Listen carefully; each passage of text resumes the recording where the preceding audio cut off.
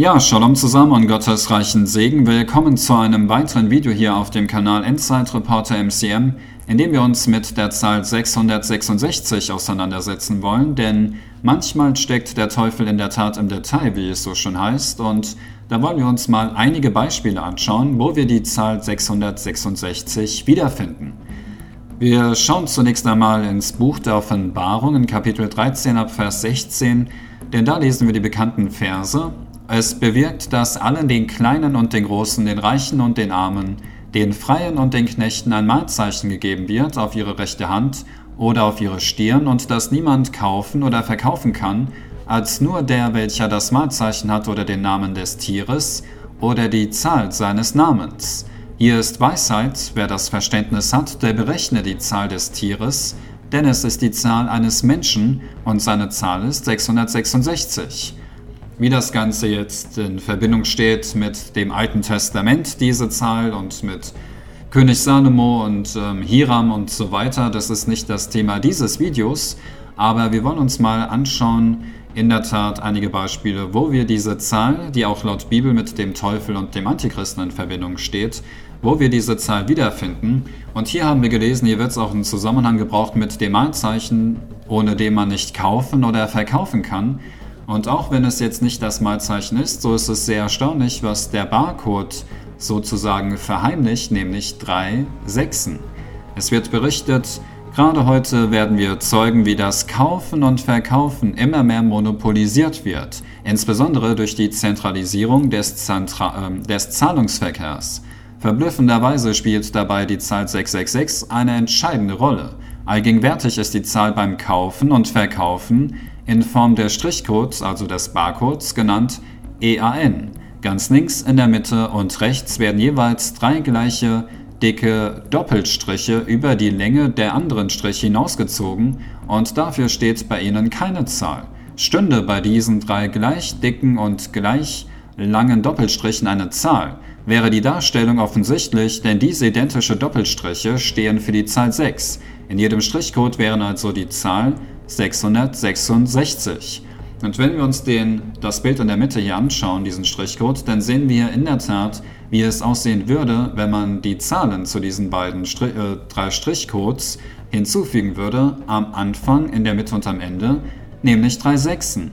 Und auch oben, in diesem kleineren Bild rechts oben, sehen wir dasselbe Beispiel. Ganz links, ganz rechts und in der Mitte sehen wir ähm, zwei Strichcodes nebeneinander und das ist dann die Zahl 6, dass es hier ähm, in der Mitte auf dem Bild, wo die Zahl 6 auch zu sehen ist, ein dicker Balken ist, liegt daran, dass es einfach in der Mitte noch andere ähm, Striche sind. Aber im Allgemeinen können wir feststellen, die Zahl 666 in der Tat kann heute fast niemand mehr kaufen oder verkaufen, äh, jedenfalls ohne diesen EAN-Code, diesen Barcode. Und das ist doch sehr erstaunlich und damit eine kleine Erfüllung dieser Prophezeiung aus ähm, Offenbarung 13. Aber wir schauen uns noch eine, einige andere Beispiele an. Schauen wir uns mal den ersten Apple-Computer an. Rechts sehen wir ein Bild, sieht eher aus wie eine alte Schreibmaschine. Und das ist der Apple One. So wird berichtet, die Geschichte von Apple seit 1976. Im Mai 1976 wurde der Apple One auf dem Meeting des Homebrew Computer Clubs vorgestellt. Der Rechner kostete 666 Dollar und 66 Cent. Tja, der erste Computer von Apple kostete 666 Euro, äh, Dollar. Und wir wissen ja auch, der Name Apple, also Apfel zu Deutsch, das Logo. Rechts unten sehen wir einen abgebissenen Apfel und das soll ja auch an den Sündenfall erinnern, als die Schlange ähm, Eva und Adam verführt hat, beziehungsweise zunächst Eva dass sie vom Baum der Erkenntnis probiert, von dieser verbotenen Frucht. In der Bibel steht zwar nicht, dass es ein Apfel war, aber in der Geschichte hat sich das so eingebürgert. Und deswegen ist es schon erstaunlich, denn auch im American, im Film American Satan aus dem Jahr 2017 sagt jemand, der den Teufel verkörpert in diesem Film zu einem Bandmitglied, sieh mal nach, was der erste Apple Computer gekostet hat. 666 Dollar. Ja, 666 Dollar. Die verbotene Frucht, von der ein großes Stück abgebissen ist. Ein großartiges Logo. Nun, das sagt der Teufel in diesem Film American Satan. Und deswegen haben wir hier nicht nur die verbotene Frucht, diese Apfel, sondern auch die Zahl 666 und 66 Cent hat man damals für diesen alten Apple Computer ausgegeben, der erste Apple Computer überhaupt. Und wir schauen mal in den Garten Eden mal kurz hinein, um diese verbotene Frucht auch mal in den Einklang der Bibel zu bringen. Da ist es in Genesis 3 ab Vers 6, da sprach die Schlange zu der Frau, keineswegs werdet ihr sterben, sondern Gott weiß, an dem Tag, da ihr davon esst, werden euch die Augen geöffnet und ihr werdet sein wie Gott. Und die Frau, nämlich Eva, sah, dass von dem Baum gut zu essen wäre und dass er eine Lust für die Augen und ein begehrenswerter Baum wäre, weil er weise macht und sie nahm von seiner Frucht und aß, und sie gab auch davon ihrem Mann, nämlich Adam, der bei ihr war, und auch er aß. Also im Grunde genommen könnte man sagen, Satan verführte durch äh, Umwege vielleicht die Schlange, die Schlange verführte Eva, Eva verführte ihren Mann und deswegen hat Adam zum Beispiel keine so gute Entschuldigung wie Eva. Eva wurde von der Schlange, von Satan vielleicht sogar persönlich verführt und Adam von seiner eigenen Frau. Deswegen beide waren Gott nicht gehorsam und das sind viele Menschen heutzutage auch nicht, vor allem in der Unterhaltungsindustrie, aber da kommen wir noch hin. Wenn wir hier schon beim Thema Computer sind, so schauen wir auch mal, was wir am Computer machen. Wir gehen ins Internet und dann geben wir immer www. ein und äh, so heißt es, auch das Internet werden als Zeichen des Antichristen gedeutet, da die drei Ws in World Wide Web, also ähm, www als der hebräische Buchstabe Wahr verstanden werden, der den Zahlenwert 6 hat. In der Tat, wenn wir www eingeben und dieser Buchstabe Wav ist nun mal, hat nun mal diesen Zahlenwert 6, dann können wir sagen, www ist genau identisch mit übersetzt 666. Das heißt, um überhaupt ins Internet reinzukommen, geben wir übersetzt auf eine andere Zahlenwertsprache sozusagen die Zahl 666 ein. Nun, das ähm, heißt jetzt nicht, dass das alles verflucht ist, aber wir wissen, der Teufel steckt im Detail. Und manchmal sieht man das nicht so offensichtlich. Ähm, hinter dem Augenscheinlichen stecken äh, manchmal Dinge, die wir nicht so wahrnehmen, aber deswegen habe ich mir gedacht, schauen wir uns auch mal einige Dinge an. Und als nächstes schauen wir uns auch an etwas, was mit dem Papst in Verbindung gebracht wird nämlich äh, die Tiara, das ist so eine Art Krone des Papstes, äh, die, ihn, die der Papst jetzt nicht andauernd anhat, aber die auf jeden Fall schon äh, sehr viel Autorität sozusagen beinhaltet. Und in dieser Tiara heißt es auch Vicarius Filii Dei und auf Lateinisch und wir schauen uns mal an, was es damit auf sich hat. So wird berichtet, Mittelalterliche Exegeten ordneten die Zahl in antipapistischer Polemi äh, Polemik dem Papst zu, und zwar entweder einem bestimmten Amtsträger oder generell dem Oberhaupt der römischen Kirche. So sollte auf der Tiara des Papstes, auf dieser Krone, die wir rechts sehen, geschrieben stehen Vicarius Filii Dei, und das heißt Statthalter des Sohnes Gottes, woraus sich in chronographischer Zählweise die Summe 666 ergebe.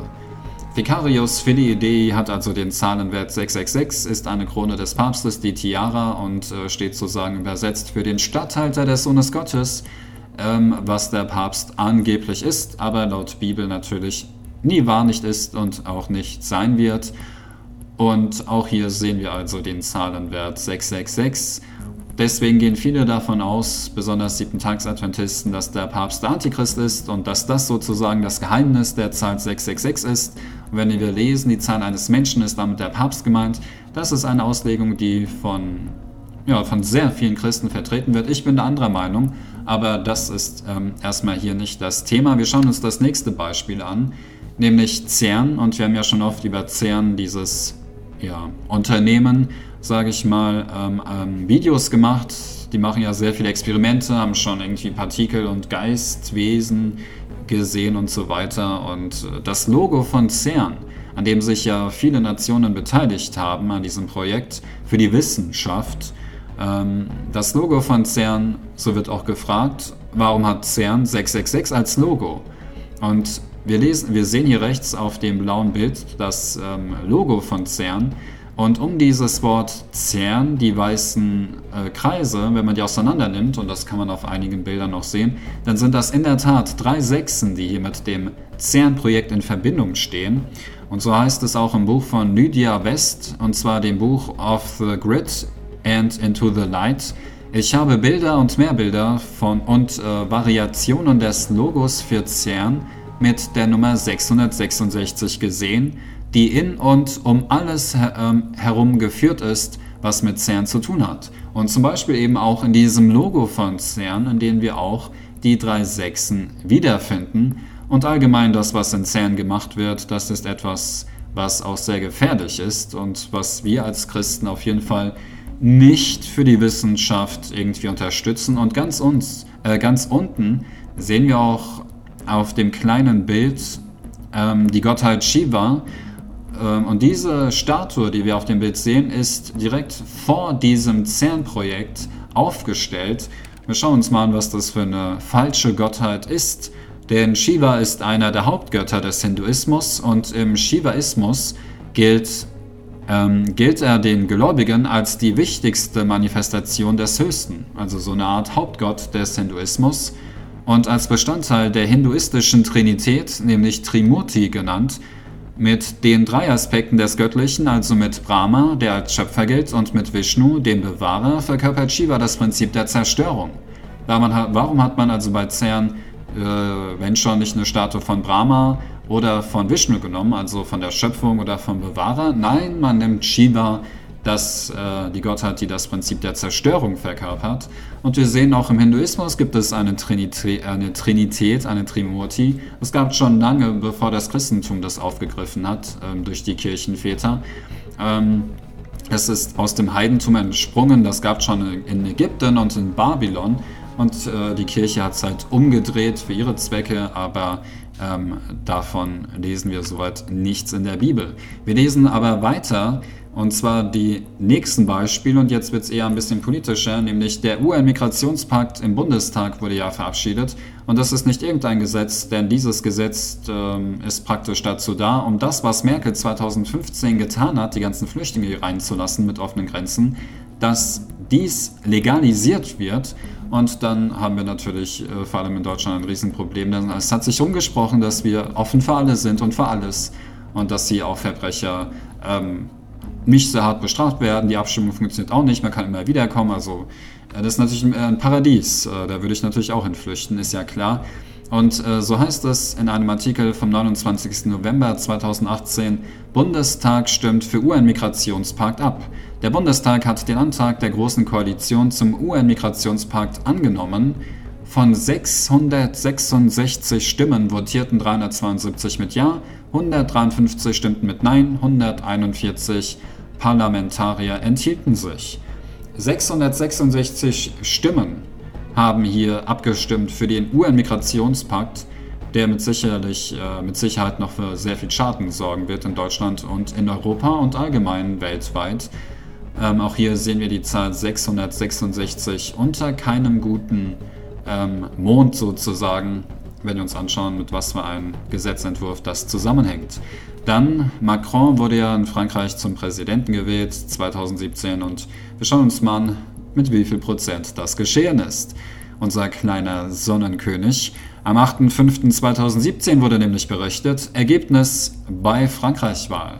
66,6 Prozent stimmten für Macron. Nach Auszählung von 99,99% der abgegebenen Stimmen hat der parteilose proeuropäische Kandidat Emmanuel Macron gestern bei der Stichwahl in Frankreich 66,6% der Stimmen erhalten.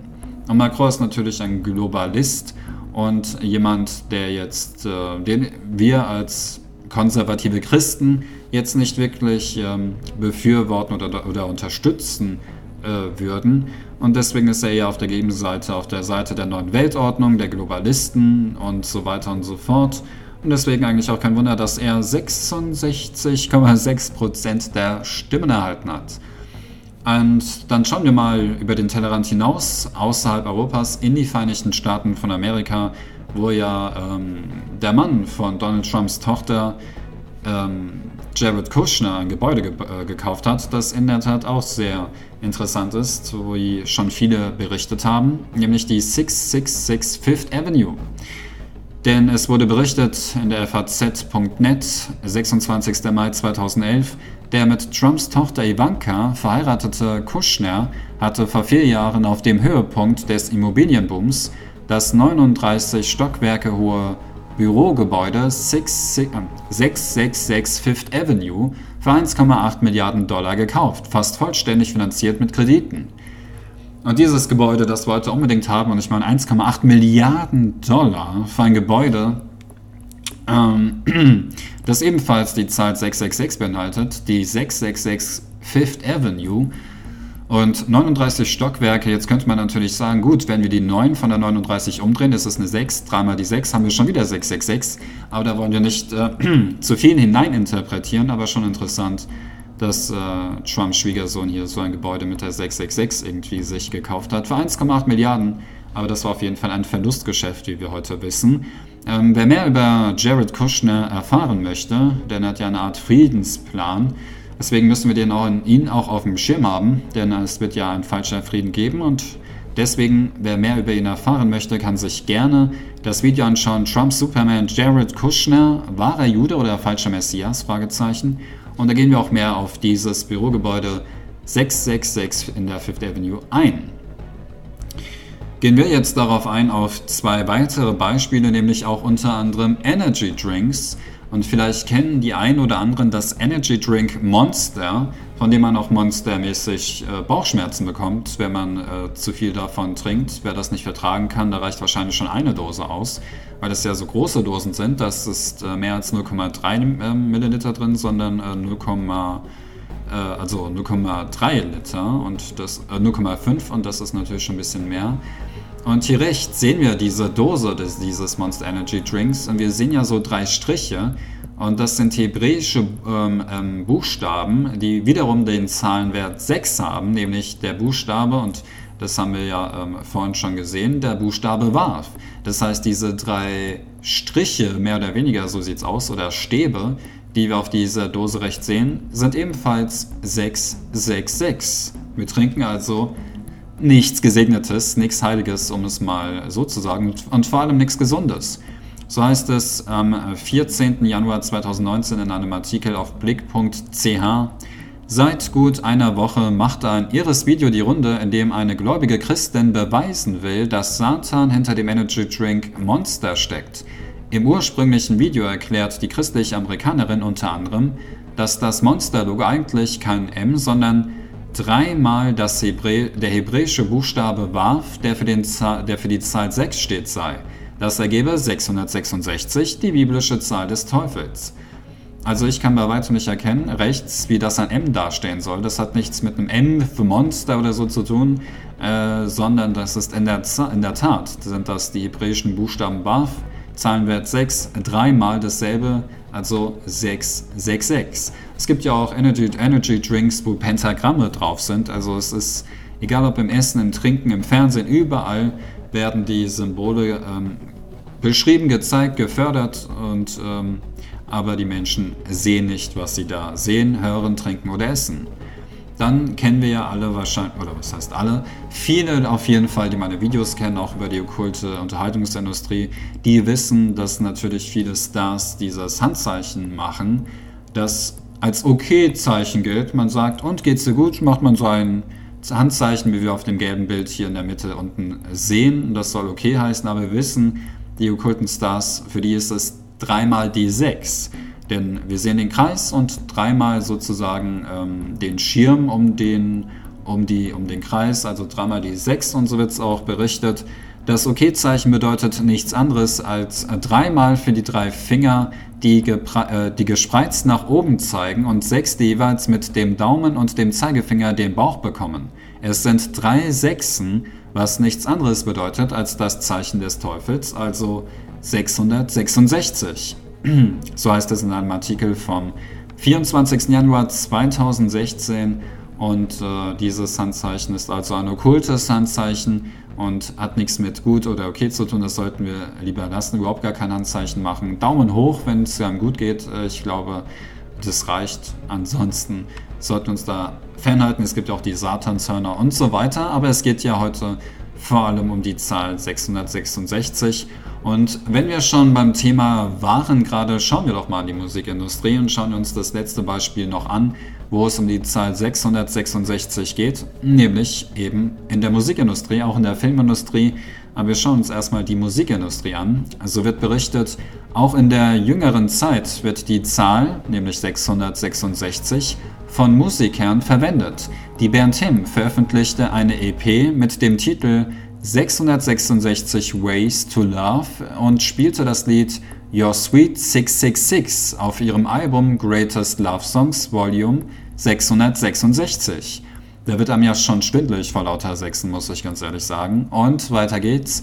Am 6. Juni 2006, also am 6.06.2006, kam die Single Cult vom Album Chris Illusion der amerikanischen Trash-Metal-Band Slayer heraus und auf dessen, Cover, auf dessen Cover ist ein verstümmelter Jesus Christus mit der Zahlfolge 666 auf der Brust zu sehen. Das ist natürlich widerlich und abscheulich. Ähm, es gibt so viele Beispiele, das war jetzt mal ein grober ähm, ja, Zusammenschnitt von Wikipedia sozusagen, aber schauen wir uns mal Lied an, nämlich Iron Maiden mit dem Titel The Number of the Beast, also die Zahl des Tieres, die Zahl des Biestes. Da heißt es, denn der Teufel entsendet das Tier mit Zorn, denn es ist eines Menschen Zahl, die Zahl lautet 666 also entnommen vom Buch der Offenbarung. Das Ritual hat begonnen, Satans Werk ist getan, 666 die Zahl des Tieres. Und es ist die Zahl eines Menschen und die Zahl des Antichristen. Und der bekommt seine Macht von seinem Gott, nämlich von Satan, dem Teufel. Und deswegen sehen wir viele, viele Stars in der okkulten Musikindustrie, die Handzeichen machen, okkulte Songs schreiben und keine guten Vorbilder sind weder für Jugendliche noch für Erwachsene, aber die Jugend natürlich, die werden schneller verführt als jemand, der schon sozusagen mit beiden Beinen im Leben steht. Ähm, wir schauen uns dann noch einen Artikel an vom 23. Juli 2018 über JC, der ja auch ein Okkultist ist und sagte, dass er von den Geistern besessen ist. Und in einem seiner Lieder sagt er auch, dass Jesus dich nicht retten kann und die Kirchen werden enden und dann beginnt erst das Leben. solche Songtexte hören heute Jugendlichen und kein Wunder, dass diese Stars so reich sind, denn sie haben ja ihre Seele dem Teufel verkauft. In diesem Artikel heißt es, JC ist bekannt für seine Rapmusik. Neben dem Lied 99 Problems hat er einen Song veröffentlicht mit dem Namen Lucifer. Das Skandalöse war nicht der Titel des Liedes, sondern eine bestimmte Szene im Song. Es gibt eine musikalische Stelle, die seltsam klingt. In einem Studio in den USA spielte man die Stelle rückwärts ab und halbierte die Abspielgeschwindigkeit. Aus dem unerkenntlichen Ton wurden die Worte 666 Murder, Murder, Jesus. Da kann man das auch auf YouTube wirklich ähm, sehen. Einige haben das schon abgespielt und haben das auch bewiesen. Wenn man also dieses, diesen Song Lucifer ähm, bei gewissen Stellen rückwärts spielt, dann ähm, rappt JC tatsächlich 666 Murder, Murder, Jesus. Also ermorde Jesus und so weiter. Also absolute Gotteslästerung von JC, genauso seine Frau Beyoncé ist auch nicht besser. Sascha Fierce, ihre gespaltene Persönlichkeit, Dämonen ohne Ende. Da kann man nur Jesus, dem Herrn, danken, dass wir vielleicht keine Millionäre sind äh, oder irgendwie sehr reich sind, aber dafür auf jeden Fall Reichtum besitzen für die Ewigkeit, nämlich den Glauben an Jesus Christus und bald das ewige Leben, während einige dieser Stars womöglich Aufenthalt im ewigen Feuer sie haben werden und dort verbrannt und ausgelöscht werden werden, so wie auch Sodom und Gomorra ausgelöscht worden sind.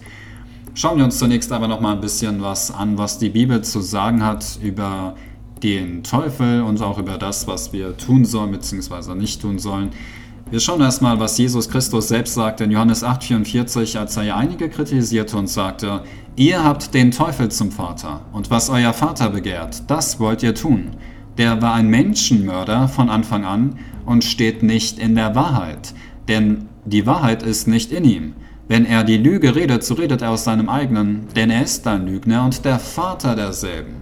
Der erste Lügner überhaupt, der es den es jemals gab in den Weiten des Universums, war also Luzifer, Satan der Teufel, ein Menschenmörder und vor allem lesen wir, dass er ein Lügner ist. Er ist der Vater der Lügen und die Wahrheit ist nicht in ihm.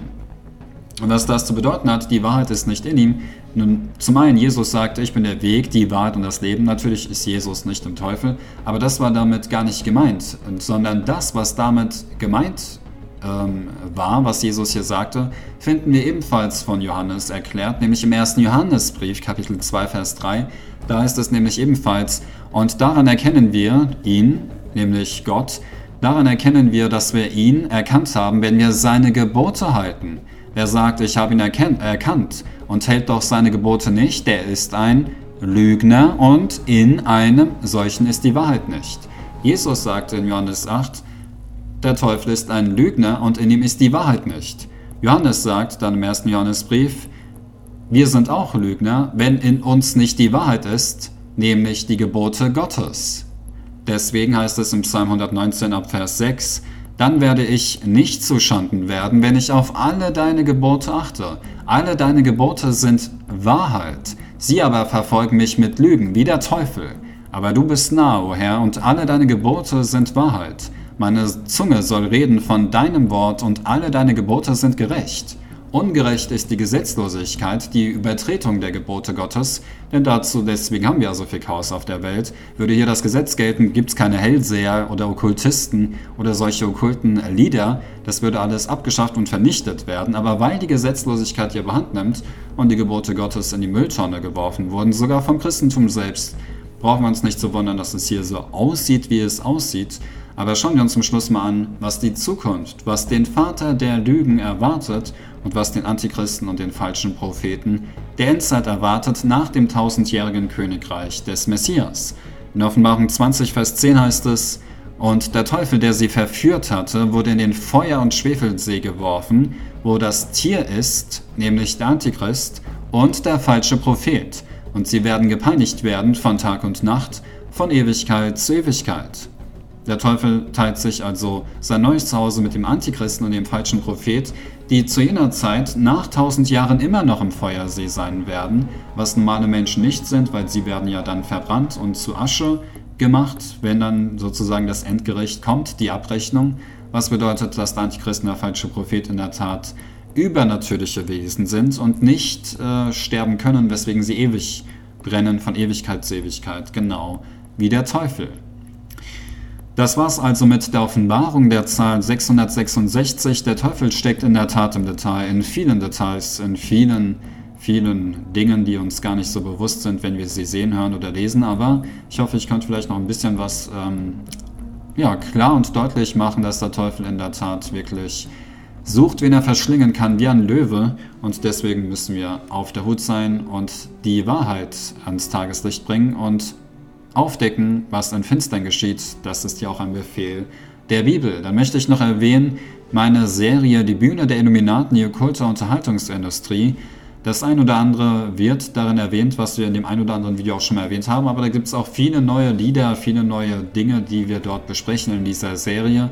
Und für jeden, der sich da ein bisschen damit äh, beschäftigen möchte, dem würde ich diese Serie auf jeden Fall ans Herz legen. Die Bühne der Illuminaten, die okkulte Unterhaltungsindustrie.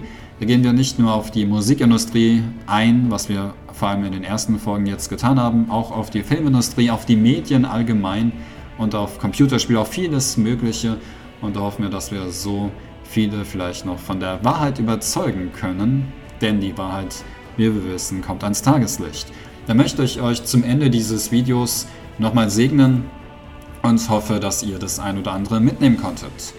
Der Herr segne dich und behüte dich, der Herr lasse sein Angesicht leuchten über dir und sei dir gnädig, der Herr erhebe sein Angesicht auf dich und gebe dir Frieden. Amen.